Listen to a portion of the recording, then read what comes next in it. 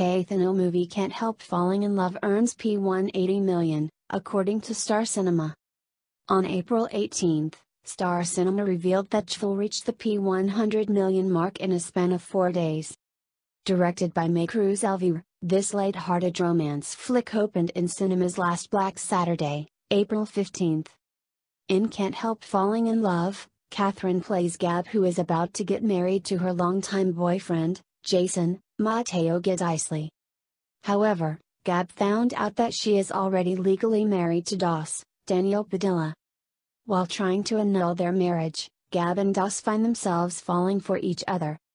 In the 48th Box Office Entertainment Awards, Kathryn and Daniel were proclaimed as the box office king and queen, due to the success of their 2016 movie Barcelona, A Love Untold.